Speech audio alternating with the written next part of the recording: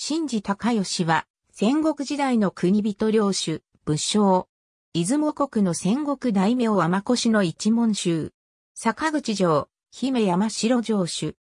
はじめ、天子戦級に仕えてその返記を受け戦喜び、後大内義高に属してからはその返記を受けて、高義と名乗った。別名として、新治八郎、新治正隆も伝わる。天文九年、主君、天子戦級による吉田軍山城の戦いに参戦するが、戦況が不利になったため敗走した。翌天文11年1月11日に、大内義高は自ら出陣して、出雲侵攻を開始。これに呼応した新治氏は、大内川へと寝返る。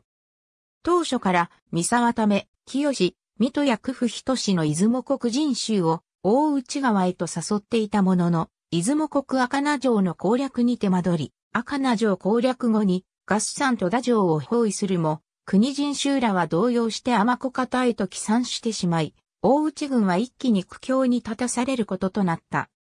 立場が悪くなった高吉は、大内義高に従って撤退し、5月25日に山口へと到着した。その後は、大内氏家臣として交流されている。天文20年に、大内氏重臣、東高房による謀反により、大内義高が自害。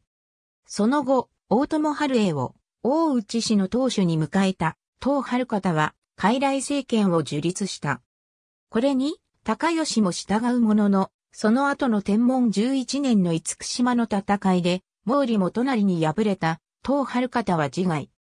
同年から毛利氏の傍聴計略が始まると、大内氏本拠である大内士官、月山間に隣接する姫山城に籠城したが、大内義長が山口を放棄すると、毛利氏に従属した。永禄5年には、着難の聖喜びとともに、毛利氏の出雲信仰に加わっており、かつての新治氏の居城であった、飛びガス城を奪回し、城主に返り咲いた。新治氏は、近江佐々木氏の主流に属する、出雲源氏の出で、天子子祖となった天子高久の弟、収益を祖とする家柄であり、出雲国王軍新治里に土着したことが始まりという。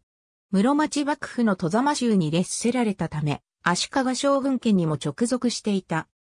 新治氏は、西出雲においては、円谷氏と同等の力を持つ勢力であり、出雲統一に向けて動いていた天子氏にとっても、障害であった。そのため、父親は、天子常久から婚姻政策で圧力を受けるとしていた。だが、その父であった、京喜びは、円谷沖久の乱に加担したために殺害されている。また、第一次合算戸田城の戦い以降に、天子春久は、大内川に寝返った新治氏や河津氏等を粛清。一族は他国へと追放される等の浮き目にあった。新治氏着流は、一時帝の新治苦労が継承する形になったが、苦労も父や兄と同じく、天子義久の代には、天子氏から離反した。なお、高吉は後に、天子氏当主となる、天子治駅の曽祖父にあたる。ありがとうございます。